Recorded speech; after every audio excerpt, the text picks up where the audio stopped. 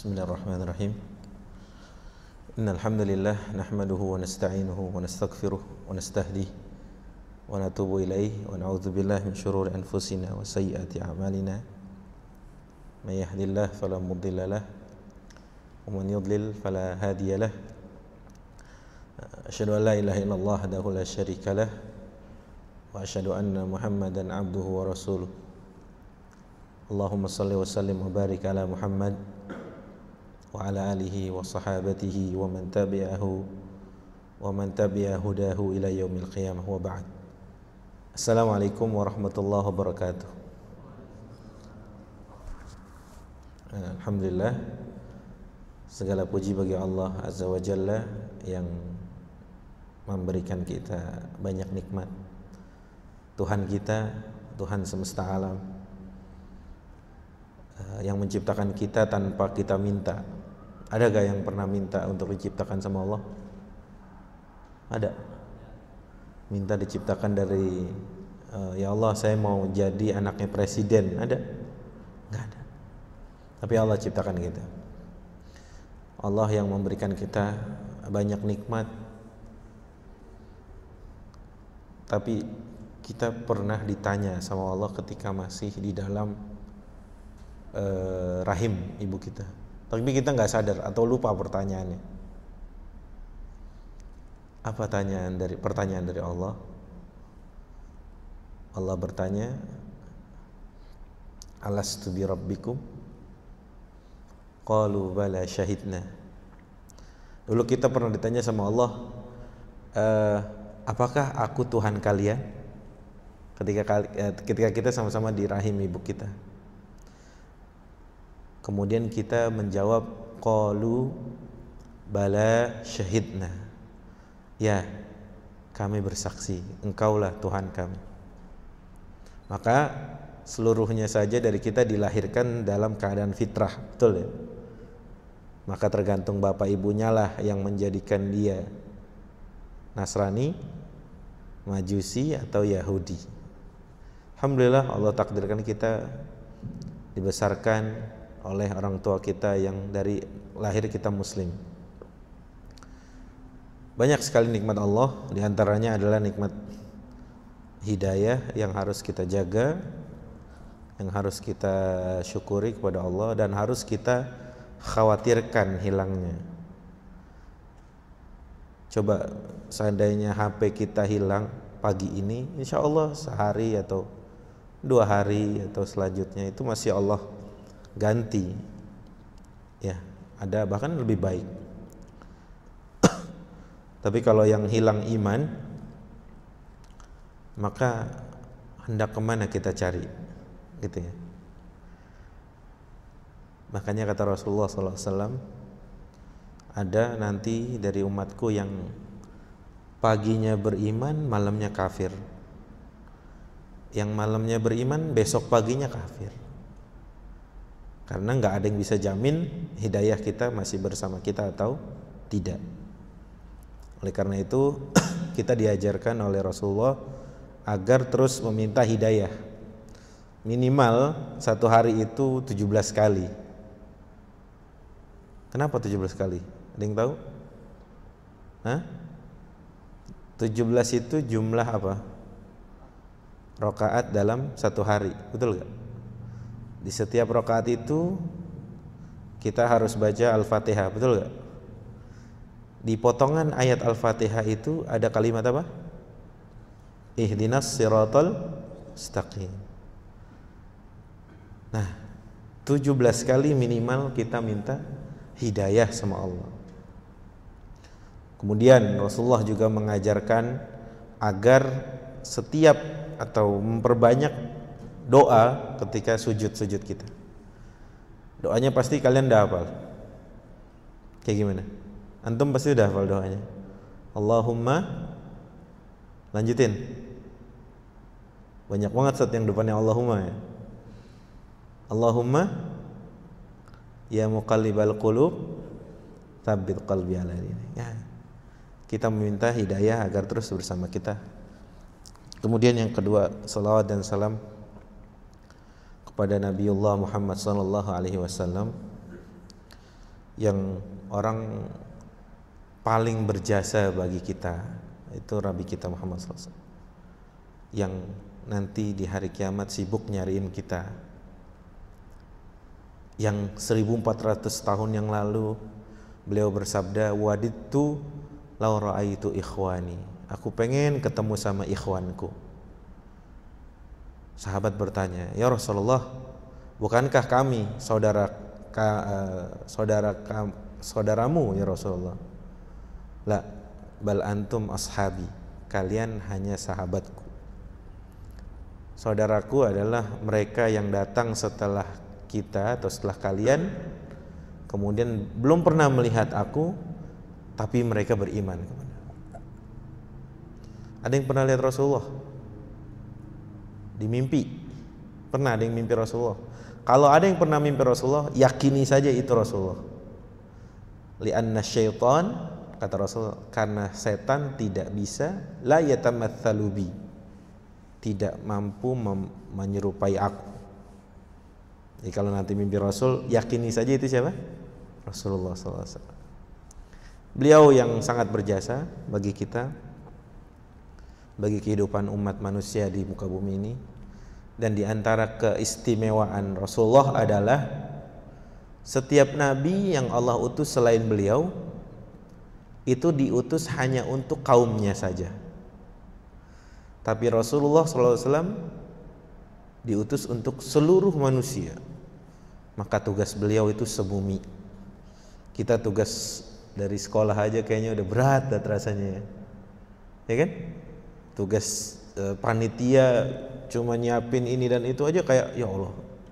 Tapi ingat, coba lihat Rasulullah tugasnya satu bumi Meskipun beliau dari dari Arab tapi ya Islam bukan untuk orang Arab aja.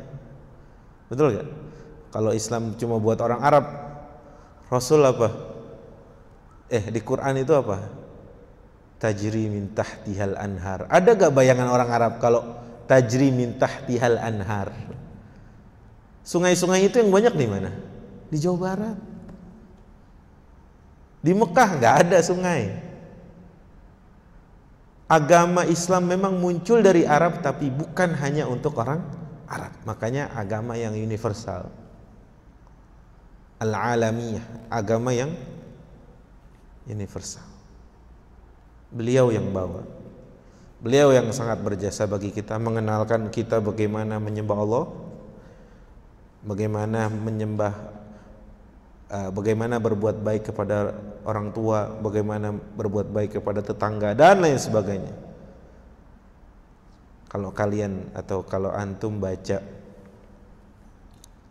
hadis kenapa apa hubungannya? Coba. Antara enggak memuliakan tamu dengan kurangnya iman. Apa hubungan Kan Rasulullah pernah bersabda la yu'minu ahadukum apa? Hatta yukrima daifahu hatta yuhibba li akhihi ma yuhibbu li nafsihi. Itu selalu kaitannya dengan iman. Bukan enggak beriman tapi kurang imannya. Ya. Maka Hari ini banyak yang mengaku cinta Rasulullah tapi sulit membuktikan. Wah, anak cinta Rasulullah. Ya kan? Kalau ditanya, siapa yang cinta Rasulullah? Angkat tangan, angkat tangan semuanya. Banyak yang mengaku cinta tapi sulit untuk membuktikan. Apa pembuktian cintanya kepada Rasulullah SAW? Di antaranya adalah yang paling dasar, yang paling sangat bawah itu adalah kalau namanya disebut kita berselawat sama beliau. Itu aja. Ya. Bahkan kalau ini menjadi salah satu doa yang diaminkan oleh Rasulullah yang berdoa Jibril. Coba yang berdoa siapa? Jibril. Jibril siapa? Sayyidul Malaikah apa artinya Sayyidul Malaika? Kalau orang Jakarta nyebutnya pentolannya malaikat. Apa? Penghulunya para malaikat. Yang mengaminkan Sayyidu waladi Adam. Rasulullah. Apa salah satu doanya? Beliau berdoa tiga, Jibril berdoa tiga. Pertama, pokoknya ketika Rasulullah naik mimbar, kayak kalau antum tahu mimbar Rasulullah itu terdiri dari tiga anak tangga. Tuh dua tiga gitu. Nggak kayak mimbar hari ini. Eh, sebagian masjid sih ada yang seperti itu. Mimbar beliau ketika di tangga pertama beliau bilang amin naik ke tangga kedua beliau bilang amin naik ke tangga ketiga beliau bilang amin Selesai khutbah Rasulullah ditanya sama para sahabat, "Ya Rasulullah, kenapa tadi bilang amin sampai tiga kali?" Nah, sahabat mah orangnya apa? Mau tahu terus. Ya. Sampai akhirnya apa? Oh, itu tadi Jibril berdoa. Jibril apa? Berdoa. Di antara doa Jibril adalah rogima anfu, thumma rogima anfu. Rogima anfu itu kalau bahasa Arabnya, bahasa Indonesianya adalah tersungkurnya hidung seseorang. Tapi itu ungkapan. Orang Arab mengartikan rogima anfu itu ya artinya sangat apa ya? Tersungkur artinya sangat hina sekali. Rogima anfu rajulin kata Jibril. Dzukirtu indahu wa lam yusalli alaih.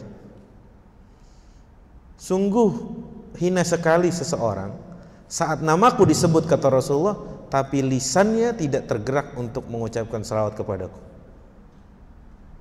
Apa kata Rasulullah? Fakultu amin. Jadi yang doa tadi siapa? Hah? Jibril yang mengaminkan siapa? Rasul. Itu kira-kira doanya langsung naik ke langit gak maka bukti cinta kita minimal kepada Rasulullah adalah apa? Kalau namanya disebut, kita apa? Bersalawat kepada Rasulullah SAW. Baik, ikhwatal iman rahimakumullah. Uh, Alhamdulillah uh, pagi ini mungkin ini pertama kalinya ana datang di daerah antum di sini di Jati Bening, Jati Bening. Anda harus buka Google dulu. Oh, perjalanannya lumayan jauh. Ini gak usah banyakkan air terus, tadi kembung. ya. Eh, kehadiran kita bukan tanpa sebab.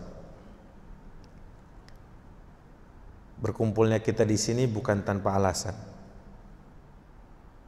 pun semuanya adalah takdir Allah.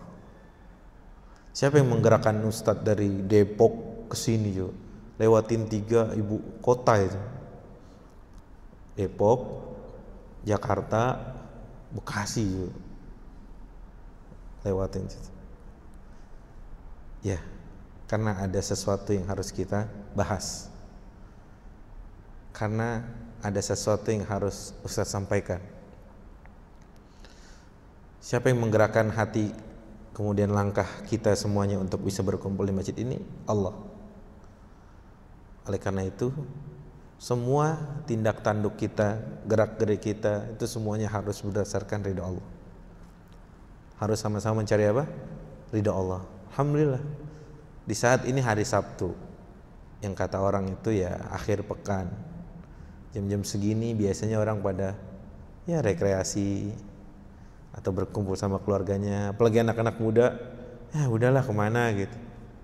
Tapi ada segelintir orang yang Allah gerakkan untuk sama-sama membahas atau mendengar atau belajar apa yang hari ini kita akan sampaikan. Judulnya adalah karya emas peradaban Islam. Ustaz mau tanya sebelumnya apa sih maksudnya peradaban itu? peradaban. Kalau di Gontor tuh dulu sering didoktrin gitu, bukan didoktrin ya. Sering dikasih tahu tentang peradaban dunia. Kita akan menguasakan menguasai peradaban dunia dan lain sebagainya. Selalu kita dibilang gitu. Dari Gontor menyapa peradaban dunia. Uh, begitulah. Sekarang Ustaz mau tanya, peradaban itu apa sih? Gitu. Kalimat intinya apa di situ? Hah? Ada per, ada an. Kalimat intinya apa? Adab. Bener gak? Ini jangan sampai diem-diem aja nih. Oke deh, yang bisa jawab boleh pulang duluan nggak apa-apa. Hah? Ya. Ada hadiahnya katanya nanti yang bisa jawab nih. Air putih nggak apa-apa kan? Baik. Apa sih peradaban itu? Karena yang kita bahas itu adalah karya emas peradaban Islam. Apa yang maksud? Ant, uh, uh, antum kalau yang bisa baca boleh dibaca dari sini. Uh, nanti Ustadz sebelumnya akan sebelum kita bahas ke apa intinya, Ustadz mau tanya dulu apa artinya peradaban itu. Sebenarnya hadarah itu, kalimat hadarah itu yang diartikan hari ini ke dalam bahasa Indonesia itu dengan peradaban itu sebenarnya nggak bisa mewakili. Bahasa Arab itu saking kayaknya saking kayaknya bahasa Arab itu kadang nggak bisa mewakili apa diwakili oleh bahasa lain. Contoh kalau kita baca syair-syair Arab itu terus kita terjemahkan ke bahasa Indonesia itu rasanya kurang. Apalagi bagi mereka yang paham bahasa Arab. Rasa atau zauk itu kurang. Ya. Dan bahasa Arab itu banyak sekali atau kaya sekali sino, apa sinonim ya, persamaan katanya. Kalau dalam bahasa Arab yang hari ini peradaban diterjemahkan itu adalah hadarah. Hadarah itu adalah kalimat aslinya terdiri dari tiga huruf ha, do dengan ro. Jadi gini, hadoroh itu adalah kalimat dulu yutlaku ala setiap apa? Setiap kalimat yang di eh, apa? tinggal di kota. Jadi gini, bangsa Arab itu ada orang Badui ada orang kota maka al-hadari artinya orang yang tinggal di perkotaan tuh namanya hadari. Tapi kalau orang yang tinggal di badiah al-badawah tinggal di pelosok itu namanya orang badui. Maka kalimat hadari adalah siapa pun yang tinggal di kota dia bisa dikatakan hadari. Orang kota gitu. Itu kalau dalam bahasa Arab apa? Hadar. Cuma karena tidak ada kalimat yang pantas untuk menerjemahkan kalimat hadarah ya udah. Diambil dari beberapa itu akhirnya diterjemahkan ke dalam bahasa Indonesia kalimat peradaban.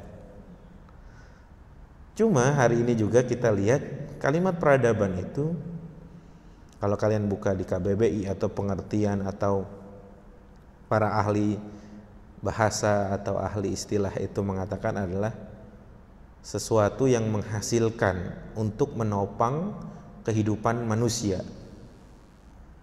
Apa? Intaj, bahasa Arab itu intaj. Sesuatu yang dapat menghasilkan demi keberlangsungannya kehidupan apa? Manusia. Islam punya banyak sumbangsi untuk itu. Yang tidak dimiliki oleh peradaban mana pun. Ustadz uh, untuk ngambil referensi untuk untuk kajian ini itu baca di dua kitab ini. Ini kitab judulnya adalah apa yang muslimun persembahkan untuk dunia. Di bawahnya ada tulisan Ishamat al-Muslimin fil hadaratil insaniyah. Sumbangsih kaum muslimin untuk ke, untuk peradaban manusia. Oke? Okay? Kemudian Ustadz juga baca kitab ini. Min rawai hadaratina. Kalau bahasa terjemah bebasnya itu dari peradaban kita yang keren-keren. Ini dua kitab ini menjadi referensi Ustadz untuk menyampaikan kajian kita pada kali ini. Tapi ini bukan kajian sehari selesai. Bukan sekali duduk kelar. Bicara peradaban Islam, pastinya juga bicara peradaban sebelum Islam datang. Kita kenal ada peradaban Yunani, betul gak? Ada peradaban Rum, Romawi, ada peradaban Furs, Persia, ada peradaban Hind, India, dan lain sebagainya. Dari bacaan Ustadz yang ring singkat ini, Kalian tahu Roma gak? Di Roma itu ada bangunan. Apa tuh yang kayak tribun itu? Kolesium. Apa namanya? Betul. Orang sekarang takjub dengan, oh masya Allah. Kolesium ini dibangunnya masya Allah ya. Tapi coba baca sejarahnya tentang apa yang terjadi atau apa yang mereka perbuat untuk bangunan itu. Kalian tahu? Di situ manusia diadu sama binatang. Lihat. Kemudian ditonton oleh orang banyak. Baik itu orang kalau menurut kasta ya bawahan ah, sampai orang tertingginya itu nonton itu. Saat apa? Saat manusia diadu oleh hewan. Apa itu peradaban? Hah? Bukan. Hari ini kita terlalu takjub tentang apa yang kita lihat bentuknya materi gitu ya. Ya seperti Ustaz bilang tadi, kolesium itu bagus. Di zaman dulu arsitek seperti itu itu hebat sekali. Bahkan banyak kok hari ini waktu saat ke Mesir itu di Alexandria ada bangunan seperti itu. Model-modelnya seperti di Roma itu. Ya kayak tribun gitu ya? Ada. Di zaman itu berarti sudah maju sekali teknologinya. Tapi lihat bagaimana perlakuan mereka kepada manusia. Ingat tadi apa peradaban? Apa? Peradaban tadi artinya apa? Sesuatu yang dihasilkan untuk menopang keberlangsungan hidupnya manusia lah kok itu bukan malah menjaga keberlangsungan hidup, malah mengadu manusia dengan apa? Hewan kata. Baik, itu peradaban-peradaban selain. Dan singkat cerita bahasa di antara peradaban-peradaban sebelum Islam datang itu mereka tidak memanusiakan manusia. Tidak memanusiakan manusia. Pernah dengar kan peradaban orang Arab jahiliyah itu? Mereka malu kalau wanita itu dilahirkan. Betul kan? Bahkan di antara dosa besar itu adalah wa'dul banat. Apa itu wa'dul banat? Mengubur hidup-hidup bayi wanita.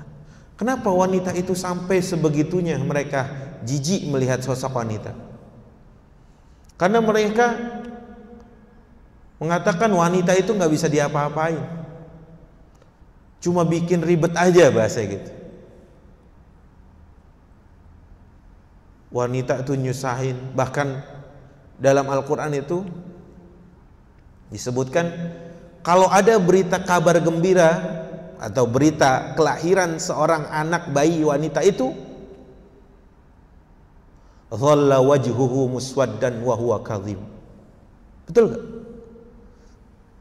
Gimana ayatnya? Idza busyira ahaduhum bil untha dhalla wajhuhu muswaddan wa huwa kadhib.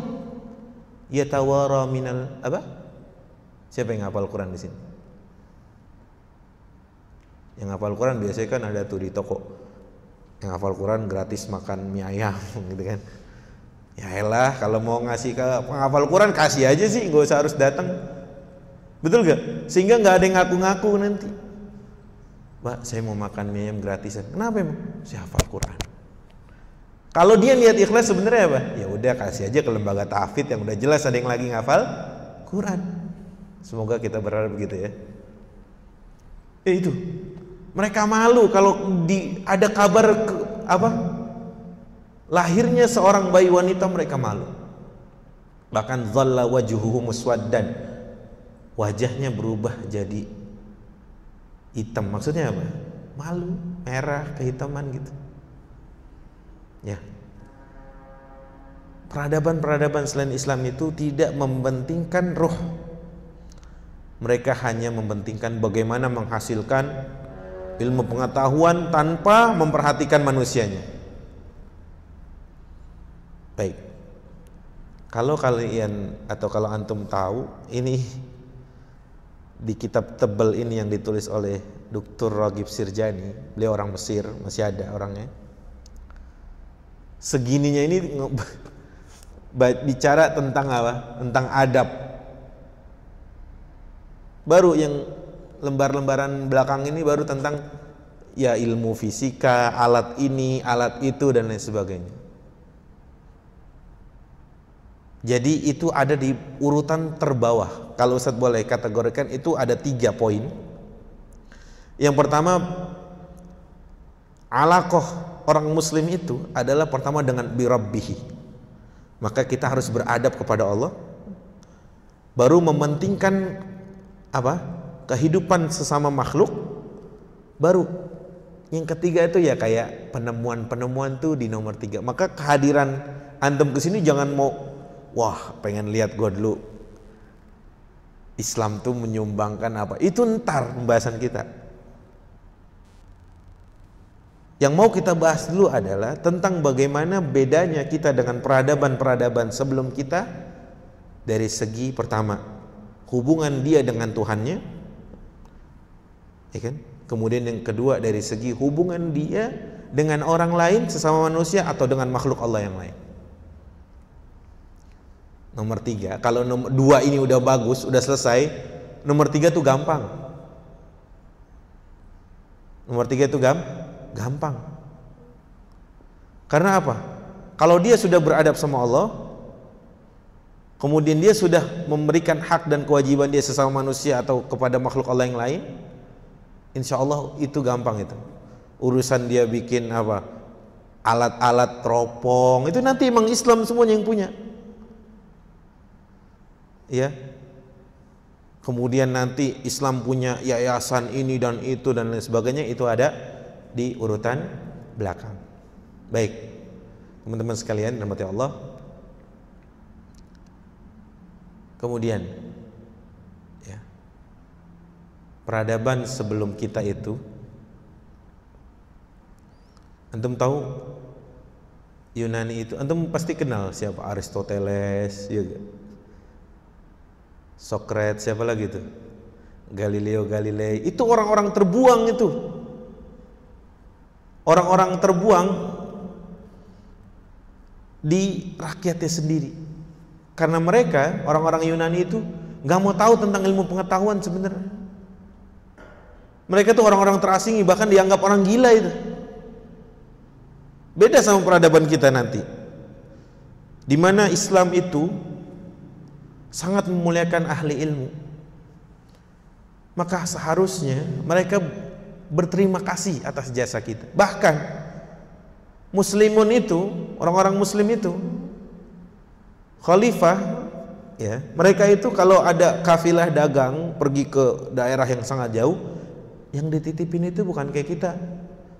Makanan hasono apaan? Terus oleh-oleh pernak-pernik dari sana apa? Enggak. Khalifah nitipnya buku. Nitipnya apa? Buku Dulu buku mahal sekali karena buku itu langka, kertas nggak seperti hari ini. Ya. Maka dari itu, teman-teman sekalian, bukan itu peradaban yang kita mau. Bukan tentang menjauhkan kita dari ahli ilmu. Bukan tentang mau, tidak memanusiakan manusia dan lain sebagainya. Peradaban muslimun adalah peradaban yang juga mementingkan dan mengedepankan ruh jiwanya. Maka tadi ditanya, Ustaz, ini kajian kita mau berapa kali nih? Kayaknya kalau sekali duduk kurang. Karena apa? Yang mau kita bahas nih peradaban Islam. Terus ada lagi yang nanya gini, ya elah ngapain sih belajar sejarah? Paling itu cuma lagi tentang ngomongin kejayaan kita yang zaman dulu. Iya, saya tahu muslimun pernah mimpin dunia sekian abad. Iya, kita tahu dulu punya khalifah yang memimpin bumi dan lain sebagainya. Gak usahlah kita belajar lagi. Gak usahlah kita belajar sejarah. Ngapain juga datang ke kajian peradaban? Pasti isinya tentang nih muslim punya ini dan itu zaman dulu. Itu kan dulu Ustaz. Pasti ada yang begitu. Kita akan jawab. Pertama, kalau kita tahu sejarah umat kita ini itu bisa sekaligus tahu permasalahannya kalau kita baca sejarah plus solusinya. Ya. Kalau kita baca sejarah, kita bisa tahu permasalahan umat ini dan langsung sekaligus solusinya. Baik, satu-satu. Setelah ada yang bertanya kayak gitu pasti dia akan meremehkan sejarah. Ah paling sejarah isinya angka-angka orang mati sekian jumlah yang mati di perang Uhud sekian gitu kan? Jumlah yang mati di perang Khaybar di perang Badr dan lain sebagainya. Kemudian pejuangnya ini udah start itu mah kalau bahasa Arabnya apa yauma kunna udhama dulu kalau kita itu dulu Ustaz dulu Sebagian orang meremehkan seperti itu. Betul ya? Maka kita apalagi kalian nih masih pada muda nih harus paham sebenarnya Islam mau ngapain. Setelah runtuhnya Turki Utsmani itu umat Islam seperti kehilangan arah. Tahun berapa Turki Utsmani runtuh? 1924, betul? di tahun itu Islam benar-benar kehilangan induknya. Mungkin seperti kata Rasulullah SAW, nanti kalian itu jumlahnya banyak, tapi nggak bisa apa-apa. Kata Rasulullah, "Guthaun ka bahar." Kalian itu bahkan seperti buih di lautan, begitu aja. Jumlahnya banyak tapi sekali terhempas hilang. Karena muslimun ya karena muslimun jauh dari agamanya. Setelah keruntuhan itu umat Islam mau ngapain? Nah itu PR kita nih. PR kita PR kalian yang masih-masih pada muda nih sehingga kalau bicara peradaban itu bicara tentang bagaimana kita bangkit dari keterpurukan ini. Kalian merasa gak sih hari ini Islam kayak dihempit dari mana-mana? Terus apa yang harus kita lakukan? Ya. Terus apa yang harus kita mulai? Maka itu menjadi dorongan sendiri buat kita. Gak bisa nih Islam diginin terus. Maka kita akan bahas satu-satu tentang bagaimana sih seharus sebenarnya Islam ini memulai peradabannya. Bagaimana sih sebenarnya Islam ini mengajarkan atau menopang kehidupan manusia nggak cuma orang Islam aja. Baik, pertama ada beberapa ciri-ciri yang kita miliki, peradaban kita miliki. Pertama adalah tentang peradaban kita adalah peradaban yang alamiah, universal. Apa? Peradaban yang sebelum dari itu adalah wihdaniyah apa yang dimaksud dengan wihdaniyah? Wihdaniyah adalah menjadikan Allah Tuhan kita adalah satu-satunya zat yang berhak disembah. Makanya anak tanya nih, makna la ilaha illallah apa? Tidak Tuhan selain Allah. Nih pasti nyontek di terjemahan azan maghrib nih TV itu. Hah? Makna la ilaha illallah itu apa? La ma'budu bihaqqin illallah. Ini menjadi ciri pertama peradaban kita. Bahwasanya Allah itu adalah Tuhan yang berhak disembah. Maka ciri-cirinya adalah wahdaniyah. Apa tadi? Wahdaniyah menyatakan Allah itu al-wahidul ahadus samad. Karena kita mau bangun peradaban beda dengan peradaban yang lain. Maka kita punya ciri-ciri. Di antaranya apa tadi? Al-wahdah niyah. Menjadikan Allah Al-Wahid As-Samad, satu-satunya zat yang disembah. Karena apa?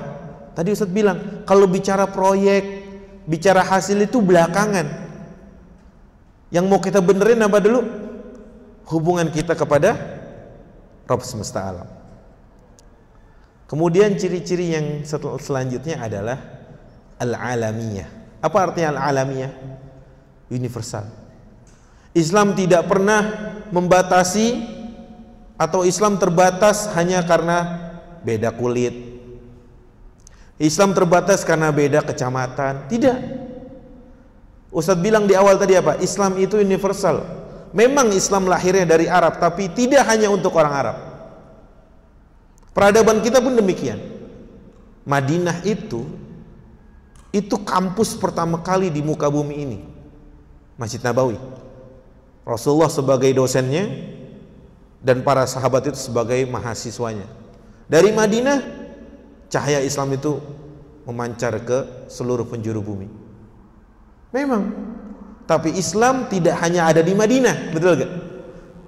Bahkan kalau nggak salah ada analisa atau research itu tentang negeri mana yang paling islami bukan Madinah malah coba New Zealand katanya eh nggak lama ada seperti itu waktu itu ada penembakan muslim di, masjid betul gak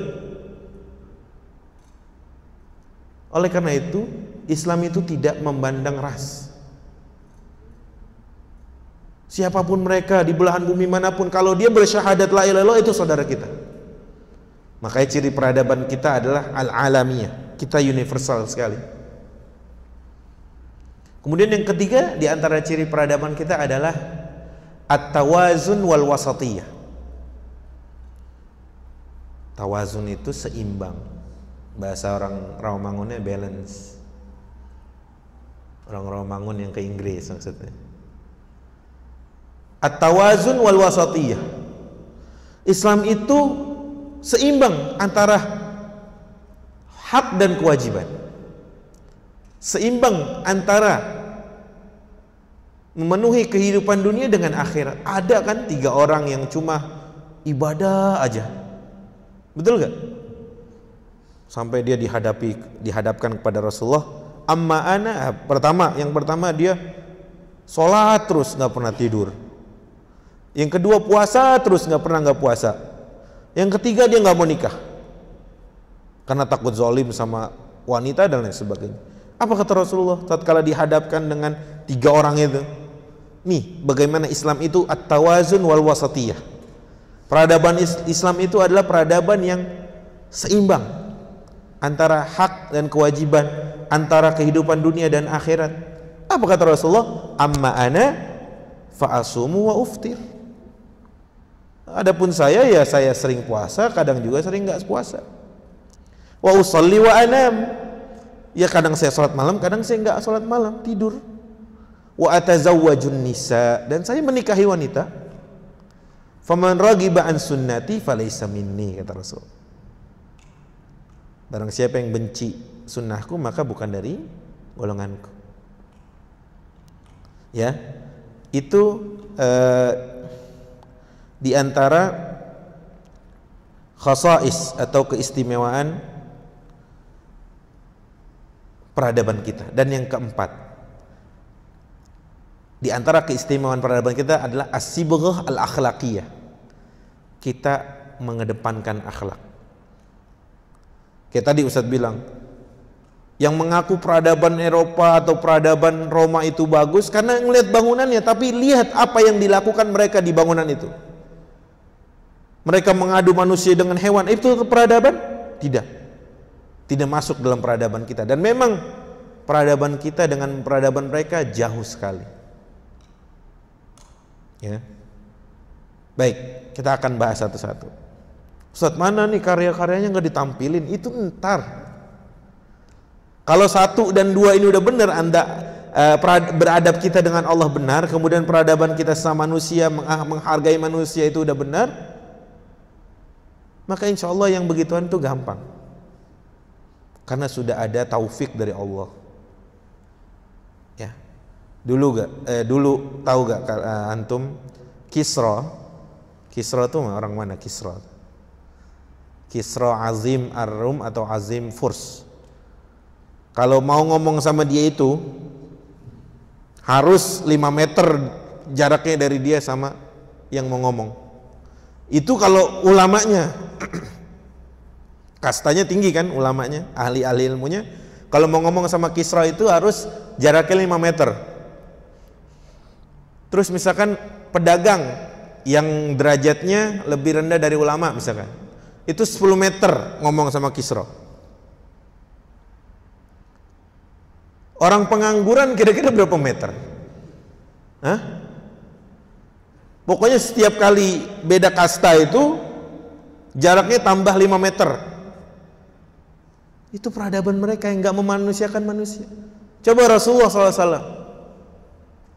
Apa pernah Rasulullah beda-bedain? Oh ini orang Madinah nih, orang Quraisy, ini enggak. Salman Al Farisi itu orang mana? Rawa Belong? Bukan.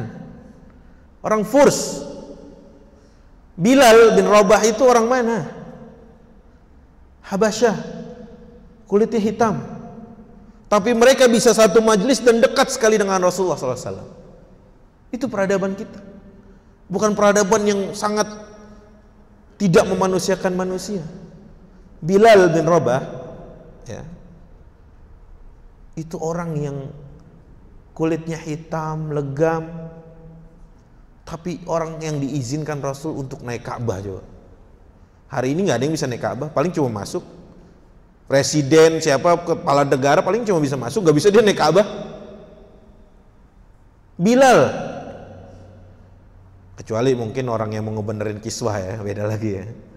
Kan kiswah diganti tuh setiap kalau lagi wukuf di Arafah tanggal 9 Zulhijjah tuh kiswah diganti jadi yang baru. Kecuali mereka ya. Itu juga nggak dapat izin dari Rasulullah kan. Nah ini Bilal. Bagaimana kita peradaban kita adalah peradaban yang memanusiakan manusia. Bilal bin Robah. Antum kenal Atta ibn Abi Robah ya? Kalau tadi Bilal bin Robah, ini Atta. Atta ini muridnya uh, Abdullah bin Abbas radhiyallahu anhu. Atta itu tinggalnya di Mekah. Atta bin Abi Robah itu juga fisiknya jelek dah. Tapi waktu khalifah datang ke Mekah dilihat itu nggak ada yang bergeming untuk menyambut khalifah itu malah lagi sibuk di majelis ilmunya Atta ibn Abi Rabah. Padahal Atta itu kulitnya hitam kakinya cacat dan lain sebagainya. Tapi itulah Islam. Peradaban kita itu tidak dengan sila tidak silau dengan materi. Ya. Itu. Tadi apa? Yang terakhir al akhlak al asibullah al akhlaknya pertama kita mau bahas tentang al wahdaniyah tentang menyembah Allah atau menjadikan Allah satu-satunya sesembahan yang berhak kita sembah kalau kita berkaca dengan atau melihat ya bukan berkaca melihat kepada peradaban selain Islam Coba mereka bagaimana dengan Tuhannya? Orang Majusi itu, orang Persia dulu nyembahnya apa? Api. Betul gak? Karena menurut dia itu api adalah sumber kekuatan dan cahaya. Disiram air, mati gak? Mati. Itu peradaban Persia. Peradaban Romawi, mereka bagaimana dengan Tuhan mereka? Mereka Tuhannya dewa-dewa ya dewa, patung dan lain sebagainya. Sama sekali tidak dalam hal ini atau dalam keistimewaan kita ini beda sekali. Kalau kita tadi al-wahdani yang menjadikan Allah adalah sumber atau puncak tertinggi beradab peradaban itu kepada Allah. Mereka sama patung-patung yang mereka buat dengan tangan-tangan mereka sendiri. Yunani dengan menyembah dewa-dewanya dan lain sebagainya itu. Mari kita kita lihat eh, kita bandingkan peradaban kita dengan peradaban yang lain. Bagaimana di zaman mereka peradaban itu bahkan antum tahu kan pencarian Tuhannya Nabi Ibrahim? Kayak gimana? Ketika melihat apa? Falamma ra'a kaukaban qala hadza rabbi gitu ya. Tatkala beliau melihat apa? Kaukab itu apa? Bintang Qala hadha rabbi. Falamma afalat tatkala hilang apa? Qala la uhibbul afilin. Betul ya? Gitu ya? Kan kata ini ada santri tafid nih, ini, ini mau ngecek hafalan aja nih. Falamma ra'a apa yang kedua? Qamar ya. Falamma ra'a qamar qala hadha rabbi. Falamma afalat lanjutannya apa? fa illam yahdin rabbi lakunanna minal qaumin dhalin gitu ya yang ketiga falamma ra'a syamsa bazighatan qala hadha rabbi hadha akbar tatkala melihat matahari yang lebih besar oh enggak hilang juga maka bicara peradaban itu yang paling tinggi adalah peradaban kita kepada Rabbul Izzati wal Jalal karena khasais atau keistimewaan kita apa? Apa kesimpulan kita tadi? Al-wahda al-wahdaniyah. Kemudian yang ketiga tadi al-alamiyah. Peradaban kita adalah universal. Antum sadar gak hari ini teknologi yang canggih yang kita mungkin kalau ke barat itu kita apa hormat wah hebatlah Jepang oh Bagiannya itu biasa aja. Bahkan orang Eropa sendiri mengakui ini seorang orientalis berkebangsaan Mes, eh, bukan Mesir, berkebangsaan Prancis. Dia bilang apa? Inna ulama al-muslimin hum fil waqi' asatidatu Auruba fi jami' furu'il ma'rifah. Ini orang orientalis. Kalau kita ngakuin sendiri kan kesannya ya karena lo muslim gitu kan. Ini orang orientalis yang ngorek-ngorek Islam. Mereka eh, dia mengatakan apa? Namanya Sidio atau bukan Sidio pemain bola ya. Dia mengatakan inna ulama al-muslimin hum fil waqi' asatidatu rubba fi jami' furu'il ma'rifah. Sesungguhnya ulama muslimin itu Sesungguhnya mereka pada dasarnya pada kenyataannya adalah asatidatu Aurubba. Soko gurunya bangsa Eropa. Fi jami furu'il ma'rifah. Cuma mereka nggak fair.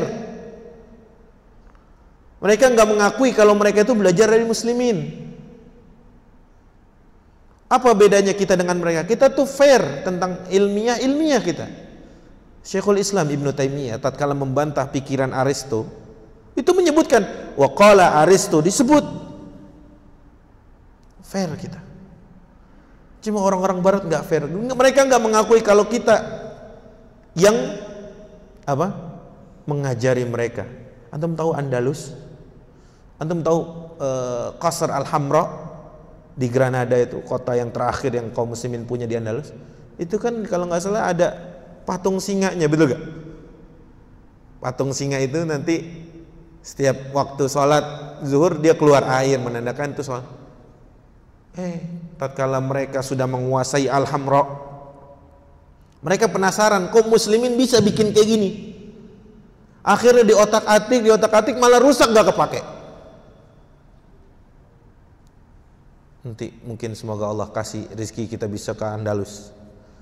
Kita lihat bagaimana besarnya peradaban kita itu. Di Alhamra itu ada patung singa, mungkin antum bisa lihat di YouTube itu.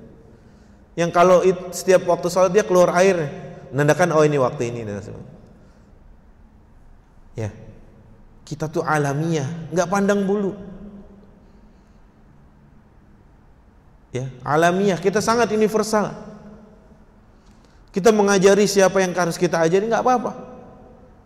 Bahkan nanti, ya nanti pembahasan kita mungkin di pertemuan selanjutnya adalah tentang di antara uh, karya emas kaum muslimin adalah Baitul Hikmah. Baitul Hikmah itu adalah perpustakaan terbesar yang ada di muka bumi ini. Baitul Hikmah itu perpustakaan dulu sudah mulai ada dari zaman Abu Ja'far Al Abu Ja'far Al Mansur, tapi lebih ke masa puncaknya itu kemasannya di masa Harun Ar Rashid dan dua anaknya Al Amin dan Al Makmun. Baitul Hikmah itu ya ini nanti kita akan bahas lebih detail insya Allah di pertemuan selanjutnya karena kita atau Ana mau me, menyampaikan hari ini tentang dua poin itu bahwasanya peradaban kita itu bukan ya ini arsitektur yang bagus, alat-alat yang ada itu ntar itu belakangan itu. Tapi peradaban yang tertinggi yang diajarkan muslimin adalah akhlak, ruh dan lain sebagainya. Yang memperhatikan uh, dan memanusiakan manusia dan lain sebagainya. Nah, Baitul Hikmah itu di situ terkumpulnya para ilmuwan tak terkecuali dari agama selain muslimin. Bahkan tidak tanggung-tanggung. Harun ar-Rashid punya ahli ilmu kesayangan dia yang namanya Yuhanna ibn Ma'sawih. Ini orang Yahudi. Fair gak kita? Kita menerima siapa pun yang mau berkarya, silakan. Dan muslimun nggak nggak nggak segan-segan mengambil ilmu dari siapa pun. Kalau dianggap benar diambil. Kalau antum baca tuh sejarah Baitul Hikmah, di situ ahli-ahli kedokteran datang. Itu nggak cuma Muslim. Orang Yahudi ada, orang Nasrani ada, orang Majusi, ateis pun ada di situ. Mulhid yang nggak paham agak, eh, nggak nggak nggak nggak nggak percaya Tuhan. Tapi itulah Muslimin kalau lagi memimpin itu fair. Al alamiyah kita nggak membatasi. Udah yang masuk masuk sini Muslimin aja enggak. Kita universal. Betul gak? Tadi kan uh, Ustadz bilang apa di antaranya uh, ciri-ciri peradaban kita adalah al-alamiyah tidak pandang suku, tidak pandang ras, tidak pandang agama. Kalau buat kemaslahatan manusia, sini. Muslimin yang pegang. Tapi ingat, meskipun mereka berkumpul di Baitul Hikmah, ada Yahudi, ada Nasrani, Majusi, khalifahnya siapa? Muslim. Karena kalau Muslim yang mimpin, insya Allah aman semuanya. Antum tahu kan? Kata Rasulullah SAW, Man qatala mu'ahadan kuntu lahu hajij yaumal qiyamah. Atau di dalam hadis yang lain, Man qatala mu'ahadan lam yurih raihatal jannah. Barang siapa yang membunuh kafir mu'ahad, tahu kafir mu'ahad ya? Kafir ahdi. Orang kafir yang dia ada perjanjian sama muslimun. Yang dia bayar jizyah dan lain sebagainya. Kata Rasul apa? barang siapa yang membunuh kafir muahad aku akan berhadapan dengan dia loh peradaban mana yang seperti itu Rasul muslim belain kafir ini jangan dipotong yang bagian ini wis misalkan wah Rasul belain kafir Rasul muslim belain kafir karena apa dia taat kepada pemimpin muslim maka darahnya dijaga sama muslimin itu peradaban kita tapi coba lihat mereka. Lihat peradaban mereka. Bagaimana tatkala mereka mengusir muslimun dari Andalus? Bagaimana? Orang takut pegang mushaf. Orang muslim nggak boleh namanya yang ke Arab-Araban. Hari ini ke kejadian coba berkaca itu.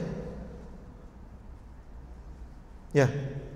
Rasulullah itu dulu ketika Fathu Makkah, antum kalau baca sejarah itu, itu orang Mekah, orang Quraisy itu udah Nyerah mereka itu. Ketika pembebasan Mekah. Sampai Rasulullah bilang kayak gini. Mata dhunnuna anni fa'ilun bikum. Kira-kira lu mau gua apain nih? Namanya orang udah terdesak. Waduh. Eh mereka mulai caper. Khairan kata orang-orang kafir. Akhun karim, ibnu akhin karim, Mulai-mulai dia sok-sokan muji-muji Muhammad. Ente kan saudara kita. Ya? Anak dari saudara kita. Nah, di sini Rasulullah mengambil pelajaran dari kisah Nabi Yusuf alaihissalam. Apa? Dulu kan Nabi Yusuf di, di, dimusuhin saudaranya ya. Ketika Nabi Yusuf mimpin, mulai saudaranya pada caper. Betul gak? Maka Rasulullah mengambil pelajaran dari Nabi Yusuf. Apa kata Rasulullah? La tathriba alaikumul yaum yaghfirullahu lakum wa huwa arhamur rahimin idhabu fa antumut tulaqa Muslim kayak begitu kalau kita yang mimpin tuh begitu adil. Apa tadi katanya? La tathriba alaikumul yaum nggak ada dosa lagi bagi nggak ada urusan lagi yang mana kata Rasul gitu. Malah didoain. Yaghfirullahu lakum wa huwa arhamur rahimin. Idhabu fa antumut jauh setelah itu Muhammad Al-Fatih. Pembebas Konstantinopel itu udah dikurung semua Muhammad Al-Fatih tapi apa kata dia apa kalau mau di Penggal gampang sekali. Tapi muslimun nggak seperti itu. Apa kata Muhammad Al-Fatih?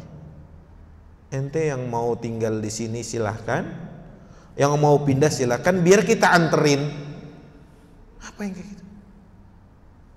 Coba perlakuan mereka kepada muslimin ketika di Andalus. Apa?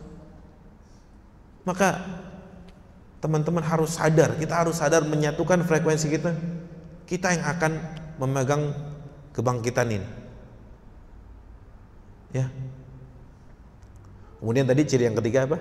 Setelah wahdaniyah, kemudian alamiyah, ketiga apa? At-tawazun wal wasatiyah. Ya. Islam itu sangat memperhatikan keseimbangan yang ada dalam kehidupan manusia keseimbangan antara hak dan kewajiban. Antum e, kalau baca surat Al-Fatihah itu sadar gak kalau di situ ada ayat yang menjelaskan tentang hak dan kewajiban? Ayat yang mana? Hah? Ini kayaknya harus dapat hadiah deh biar mereka pada semangat ini. Air putih itu udah siap dua tuh. Aus kan? Nah, ayatnya adalah iya kana budu Wa iya kan nasta'in. Jadi na'budu dulu baru nasta'in. Itu Islam mengajarkan kayak gitu. Kita melakukan kewajiban dulu baru minta hak. Betul gak? Na'budu dulu, nyembah Allah dulu baru nasta'in minta pertolongan dari. Allah bukan ujuk-ujuk nasta'in. Allah itu sebenarnya maha pemurah. Ya, Allah itu maha rahmat. Maha kasih sayang. Ya. Coba tawazun wal wasatiyah. Islam itu sangat tawazun. Islam juga mengajarkan ilmu syariat dan Islam juga perhatian tentang ilmu-ilmu yang lain. Ilmu kedokteran. Siapa yang paling kenal? Antum kenal di ulama muslimin? Avicenna. Ibnu Sina kan? Meskipun Ibnu Sina ini masih kontroversial ini apa akidahnya dan lain sebagainya. Dan tapi memang Ibnu Sina tumbuh di saat keilmuan muslimin memang sedang keilmuan kedokteran maksudnya sedang naik. Ibnu Sina terus ada Ar-Razi juga dia punya kitab Al-Qanun Fitib itu punya Ibnu Sina. Dan lain sebagainya. Al-Khwarizmi yang penemu Al-Jabar Al-Jabar lah Al-Jabar itu itu kan beliau yang menemukan angka-angka. Jadi yang angka yang satu, dua, tiga itu angka Arab itu. Kalau angka Arab yang hari ini antum lihat itu angka India. Bener. Al Khwarizmi itu mengatakan satu itu satu sudut. Dia menghitung dari dua itu sudutnya dua, tiga sudutnya tiga, sembilan sudutnya sembilan coba gimana? Nol itu nggak ada sudutnya. Makanya nol itu bisa kalau di angka satu berteman dengan nol itu jadi banyak itu karena nol nggak bersudut. Kalau dikasih satu garis saya dia baji apa sudutnya banyak sekali. Itu muslim yang punya. Itu muslim yang perhatian. Muslim itu at-tawazun wal wasatiyah. Peradaban kita adalah peradaban yang seimbang melihat ilmu agama dengan ilmu umum. Bahasa Prof. Habibi Insinyur Habibi, BJ Habibi itu ada iptek, ada imtak gitu ya. Ada ilmu pengetahuan dan teknologi, ada iman dan takwa. Itu sejajar itu. Ya, itu sejajar karenanya kita nggak cuma pengetahuan aja, tapi nggak mementingkan manusia salah. Ar-Razi, Al-Khawarizmi itu kita kenal nama-nama hebat itu. Ya. Yang hari itu ketika nanti ada ceritanya di perang salib dan lain sebagainya itu yang buku-buku kita buku-buku kita dicuri, sebagian lagi diambil, sebagian dibuang ke mana? Sungai apa? Yang sehingga airnya itu berubah jadi warna hitam karena tinta buku-buku itu luntur. Itu yang kedua, eh, yang ketiga atawazun wal wasatiyah. Kemudian bicara yang keempat di antara khasais atau keistimewaan atau ciri khas eh, peradaban kita adalah as-sibgha al-akhlaqiyah. Kita juga mengedepankan akhlak yang baik kepada manusia. Ya. Jadi karya emas peradaban Islam itu ya dari mulai gini-gini juga karya emas peradaban kita. Bukan selalu tentang bangunan itu nanti, nanti. Anda bilang apa? Nanti. Kalau ini udah benar, itu gampang sekali. Antum bisa lihat bagaimana arsitektur muslimin di Andalus. Ya. Antum bisa lihat arsitektur muslimin di uh, di mana di Baghdad ya makanya kesemuanya itu adalah uh, hasil dari kalau dua ini benar alakoh kita dengan Allah dengan sikap kita kepada manusia yang lain itu benar makanya peradaban muslimun itu peradaban Islam adalah sosok yang harus menjadi role model pertamanya itu Rasulullah kalau kita mau ngomong peradaban Islam maka sosok yang harus kita jadikan contoh untuk kita menghadirkan peradaban Islam kembali itu siapa? Rasulullah. Makanya kalau kita hari ini sebagian kok nggak kenal Rasulullah itu gimana? Coba antum boleh bikinlah sosial eksperimen ke anak-anak muda itu di jalanan atau di kampus. Coba kasih tahu atau tanya ke dia. Cinta Rasulullah? Ya, cinta Rasulullah. Siapa nama kakek keempatnya? Bingung deh. Karena nggak kenal sosok beliau. Karena nggak mau tahu sosok beliau. Coba ditanya siapa boy band BTS atau apa itu. Oh disebutin semua. Kita mundur hari ini. Ya. Miris. Saat mereka lebih kenal tokoh-tokoh yang fiktif, Antum tahu film Avenger itu tokoh fiktif yang diada-ada itu. Pertama kali siapa? X-Men. Betul gak? X-Men ada, udah bagus dia. Siapa yang kedua? Spider-Man apa Iron Man duluan? Ini Anda mau bahas tentang mereka aja berani menimbulkan tokoh fiktif. Lah kita ada tokoh beneran. Semacam Tolha bin Ubaidillah. Semacam Hamzah bin Abdul Muttalib Semacam siapa lagi? Usama bin Zaid, Ali bin Abi Thalib, Khalid bin Walid. Itu mereka tokoh bukan fiktif. Yang bisa kita angkat ke uh, permukaan, ke publik dan kita bisa ceritakan tentang mereka. Hari ini malah salah menjadikan tokoh role model yang padahal dia fiktif. Pernah gak sih dengar anak-anak kecil cita-cita yang mau jadi Spiderman? Apa Spiderman? akhirnya dia bikin apa benang buat jahit emaknya dimulai diuntel-untel itu sosok begini apa itu ya kita kehilangan itu maka bicara tentang peradaban Islam jadikan Rasulullah sebagai role model pertama jadikan Rasulullah sebagai orang yang harus kita ikutin kalau mau peradaban kita kembali maka jangan jauh-jauh dari Quran Jangan jauh-jauh dari Rasulullah. Orang-orang musuh-musuh Islam itu bukan ngebakar Al-Quran, bukan. Quran dibakar percetakan Muslim, Toha masih ada itu. Kalau nggak salah Toha apa-apaan. Tapi mereka mulai menjauhkan kita umat Muslim atau pemuda-pemuda Muslimin dari apa? Dari Quran.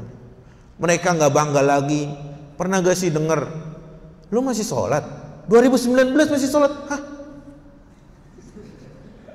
Aneh itu. Dan itu banyak hari ini. Berada di pemuda muslimin hari ini. Atau bukber. Bukber, bukber itu. Segen mau sholat tuh. Misalkan dia apa bukber di satu restoran gitu kan.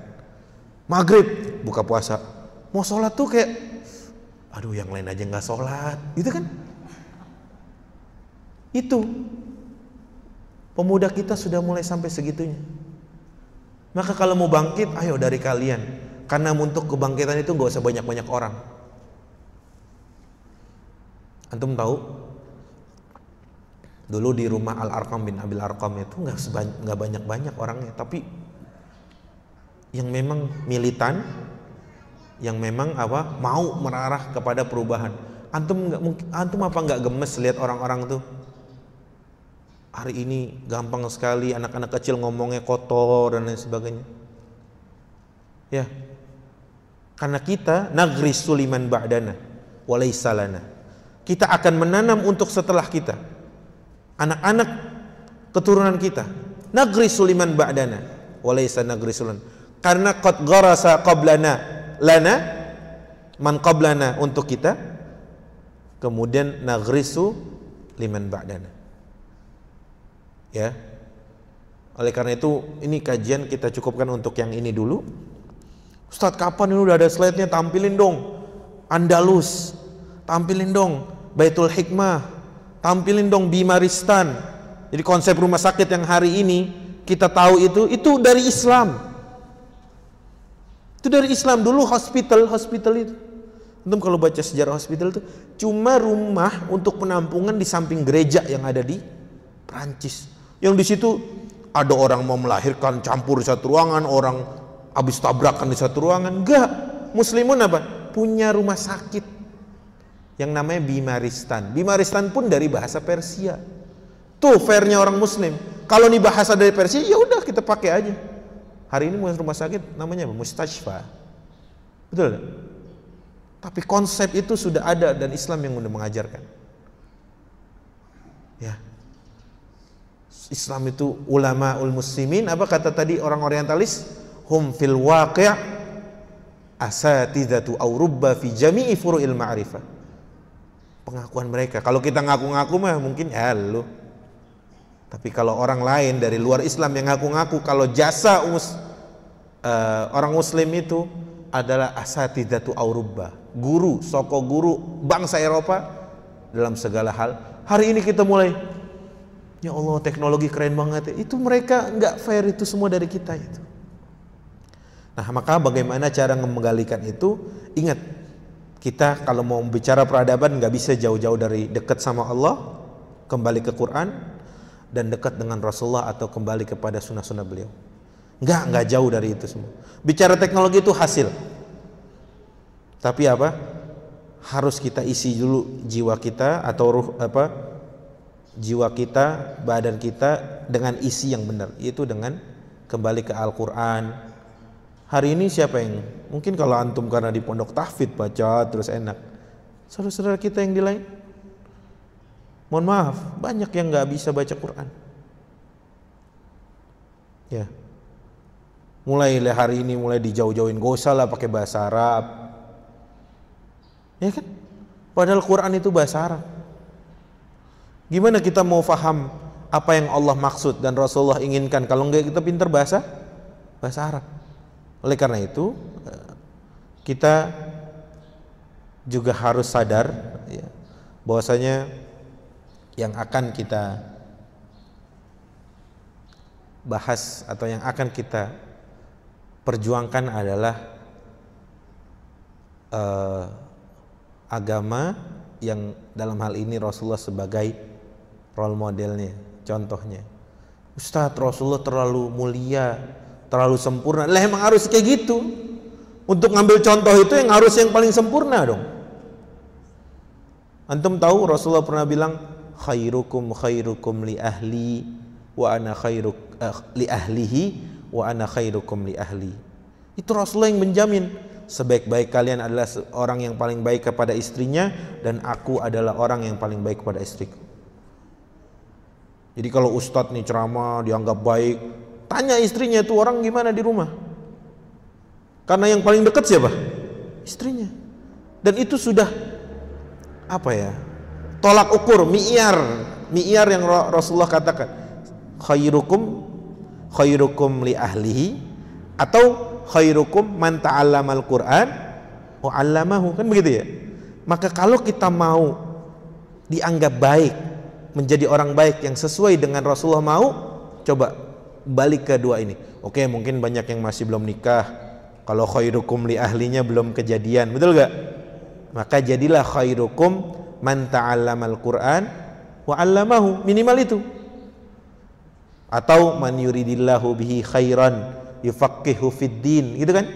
Barang siapa yang Allah inginkan dia kebaikan maka dia akan Allah mudahkan faqih jadi orang yang paham tentang agamanya jadi tolak ukurnya itu ya itu kalau kita mau menyongsong peradaban kita atau kebangkitan kita dari terpuruknya ini antum nggak sadar kalau kita tuh hari ini udah diinjek-injek kayak lemah gitu. Kita mayoritas di sini. Kok kayak lemah sih?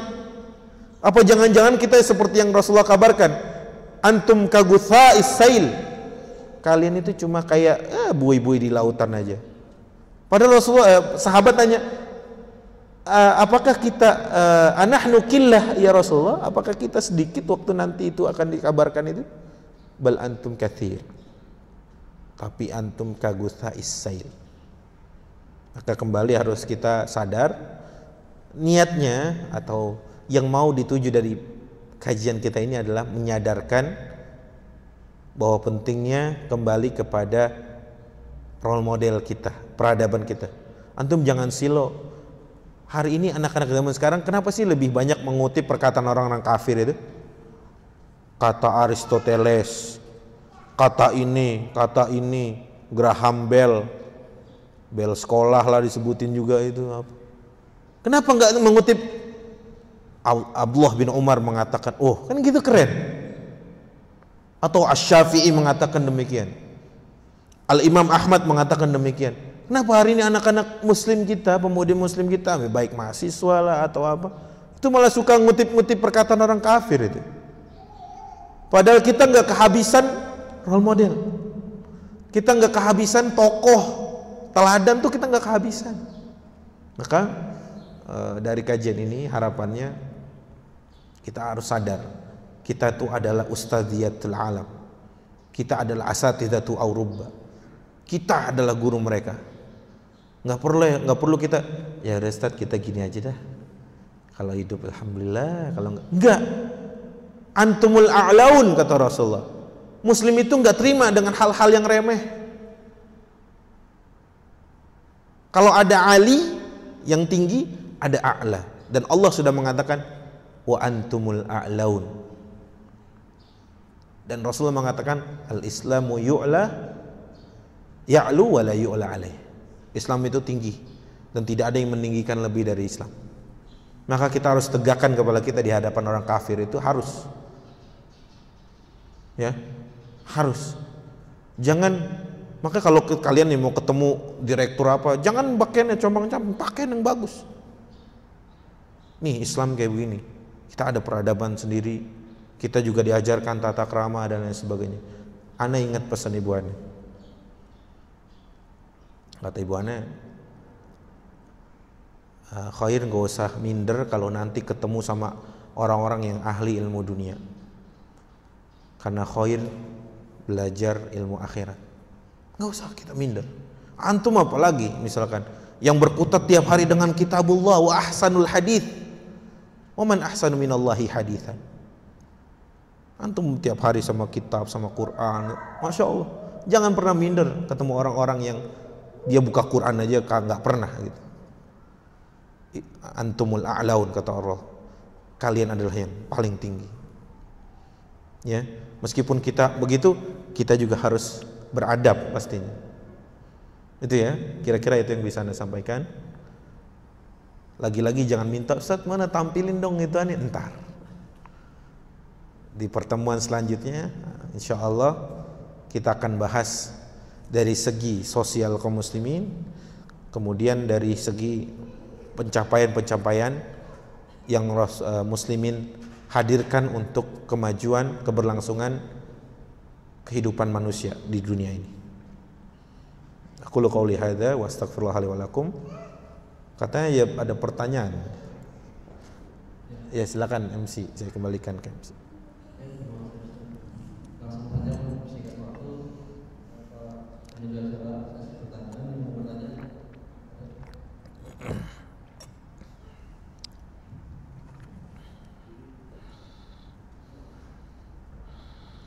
Bismillahirrahmanirrahim. Assalamualaikum warahmatullahi wabarakatuh. Salam. Mohon izin Ustaz, saya Hani pemuda Hijrah. Eh, Seiring berjalannya waktu kita kadang eh, memiliki rasa iri eh, dengan peradaban orang barat yang terlihat di mata itu lebih maju daripada peradaban orang muslim karena banyak yang imannya orang muslim sekarang itu hanya ada di mata gitu. Nah, terus kita lebih senang melihat barang-barang mewah, lebih senang melihat mobil-mobil bagus, rumah besar, terus pekerjaan yang eh, apa, atau penghasilan orang banyak.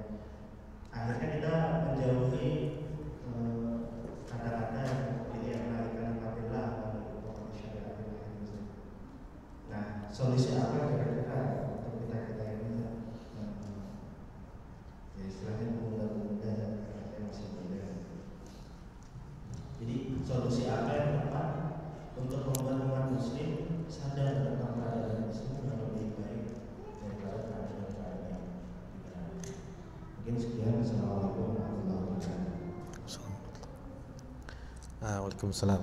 Ah, kenapa kita mudah silau dengan peradaban selain kita? Karena sadar atau tidak, kita lagi berada di dalamnya. Makanya kata Syekh ini, Dr. Mustafa Sibai, beliau ini orang Suriah yang sudah keliling Eropa. Beliau nulis buku ini tuh sebenarnya dari eh, siaran beliau di radio di tahun 44 tapi baru dicetak jadi buku ini tahun 99 beliau udah keliling Eropa. Beliau ini mufakir. Beliau mengatakan pilihannya cuma dua. Menjawab tadi pilihannya cuma dua. Kenapa kita muslimin sering silo silau ya? Bukan silo silo orang mana? Silau dengan peradaban mereka karena mau nggak mau kita masih berada di situ. Kata Dr. Mustafa Sibai pilihannya cuma dua. Pertama mau ikut terus ke peradaban mereka? Atau kita mulai me- menulis tentang mengembalikan peradaban kita dan memulainya pelan-pelan? Emang berat. Sadar atau tidak hari ini kita mau kayak ada apa namanya aplikasi yang harus semuanya berbayar uangnya bukan uang asli bukan nakdan gitu. Harus pakai uang elektronik dan itu kan kayak kita berada di lingkaran itu. Mau gak dari kita yang sungguh-sungguh terus bikin atau buat hadir keluar dari itu dan memberikan solusi buat umat. Memang awalan bakal dimusuhi pasti. Kenapa kita mudah silau? Ya itu jawabannya. Karena kita berada di situ. Dan kedua kita jauh dari orientasi kita sesungguhnya. Apa maksudnya Ustaz? orientasi kita adalah tentang orientasi berkaca kepada kehidupan Rasulullah atau meniti jalan beliau-beliau. Sehingga ada tuh waktu itu viral tentang alumni salah satu universitas terkenal di Indonesia. Fresh graduate baru keluar nggak mau digaji 8 juta karena nggak cukup. Apa itu? Mereka nggak bersyukur. Orang muslim itu harus bersyukur. Apa kata Rasulullah SAW unzuru ila man huwa fawqakum dan unzuru ila man huwa adna minkum fahuwa ajdaru alla ta- apa? Fahuwa ajdaru alla nikmatullahi alaikum gitu ya hadisnya. Itu karena salah orientasi. Sehingga kita silau dengan oh nggak bisa dipungkiri. Kalau kita nih orang Jakarta gitu terus dapat tiket gratis ke Prancis mau nggak mau kita oh masya Allah hebat gitu kan? Tapi lihat berapa banyak dari mereka yang bunuh diri nggak tahu mau arah ke mana ini hidup maka Islam itu perhatian dengan ruh kalau kita masih silo pilihannya ada dua mau tetap ngikut ngekor begitu atau mulai keluar tapi pelan-pelan dan harus mulai action. Ya. Mulai action. Ya pelan-pelan digariskan oh peradaban kita tuh kayak gini. Gimana sampai kepada penerapan nih ya gitu. Siang malam mikirnya gitu. Kalau apa sih bedanya kita dengan orang-orang yang nggak mau mikir ya itu.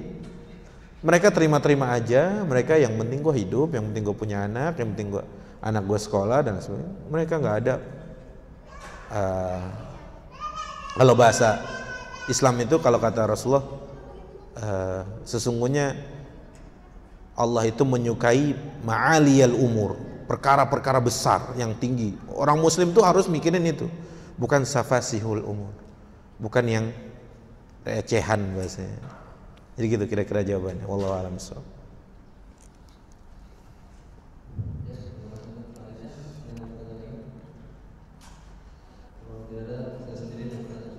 Oh iya. Pertanyaannya agak kurang sedikit tapi masih dalam pembukaan. Apakah boleh kita menyampaikan ke masyarakat untuk memotivasi mereka kalau kita ketemu Rasulullah di mimpi dan Rasul itu menyampaikan sesuatu apakah boleh atau bisa ditakutkan takutnya dia atau bagaimana sih? Apakah boleh?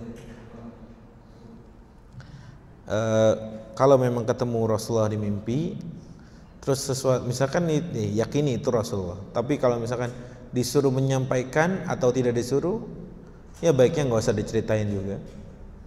Baiknya nggak usah diceritain. Kecuali memang misal di mimpi itu Rasul bilang sampaikanlah dariku bahwasanya ini dan itu misal, misal. Tapi kalau selagi belum ada itu dan gak ada orang yang nanya juga, ya udah kita cukupkan gitu kira-kira. Ya, kita cukupkan buat diri kita aja udahlah. Wallahu a'lam katanya ad- ada pertanyaan dari Anda nih. Ada. Buat berapa orang?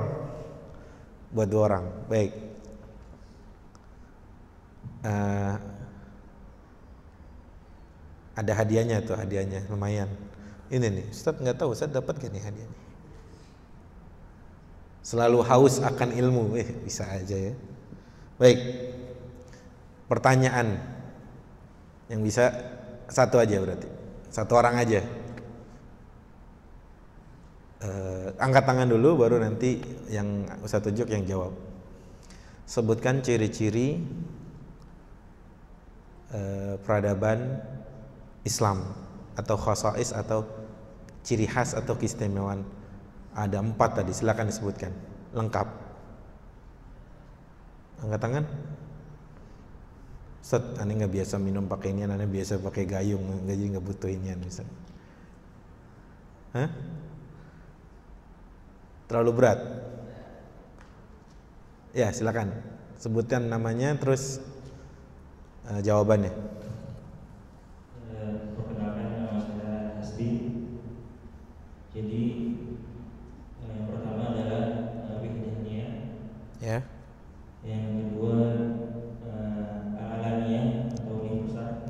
Alamiah ya. alaniyah, yang ketiga tawazu wal wasatiyah, Ya, at-tawazun wal wasatiyah.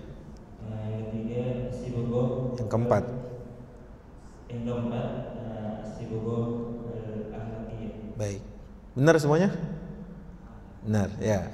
Silakan, mana hadiahnya? Masya Allah. Berarti dengerin terus nyatet. Ini banyak yang gak dengerin dan gak nyatet. Jadi ngaji kuping doang ya. Semoga harapannya bisa tergerak. Minimal bukan hari ini, ya mungkin antum nanti lagi sendirian gitu di masjid ngerenung. Bener juga Ustadz bilang kayak gini. Aneh nggak bisa harus kayak gini. Misal kayak gitu ya. Baik, kalau tidak ada pertanyaan, kita cukupkan. Uh, insya Allah ini menjadi titik awal. Ya minimal kita sadar bahwasanya kita sudah terlalu jauh. Nih closing statement lah ya atau khulasatul qaul. Kita sadar kalau kita sudah terlalu jauh meninggalkan peradaban kita sendiri dan kita sudah terlalu lama terbawa arus oleh peradaban-peradaban yang tidak mementingkan ruh, tidak memanusiakan manusia dan tidak peduli dengan keberlangsungan eh, ekosistem dan lain sebagainya. Oleh karena itu, harapannya ana antum semuanya bisa ambil bagian untuk sama-sama uh, uh, menjadi bagian dari kembalinya peradaban kita yang sangat mulia itu kembalinya peradaban Islam yang sangat memanusiakan manusia yang sangat peduli dengan lingkungan sekitar dan lebih dari itu semua adalah yang mengakui keesaan Allah Azza wa Jalla. Itu saja, semoga yang sedikit ini bermanfaat. Eh, di pertemuan selanjutnya, jika memang Allah izinkan, kita akan lebih membahas tentang pencapaian kaum muslimin dari beberapa sisi, dari sisi sosial, dari sisi keilmuan, dari sisi dan uh, uh, lain sebagainya, gitu ya. Aku lu qouli hadza wa wa. Kalau yang benar datangnya dari Allah Azza wa Jalla dan banyak khilaf dari anak pribadi. Assalamualaikum warahmatullahi wabarakatuh.